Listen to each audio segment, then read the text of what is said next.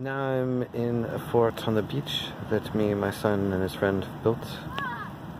We've dug the sand deep enough.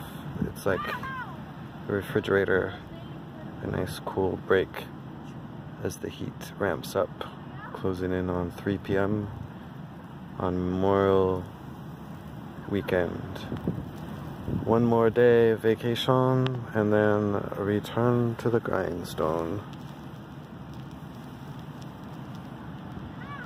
It won't keep the rain out, but it is giving me plenty of shade, nice respite. Some giant ants, a few other critters, and my wife.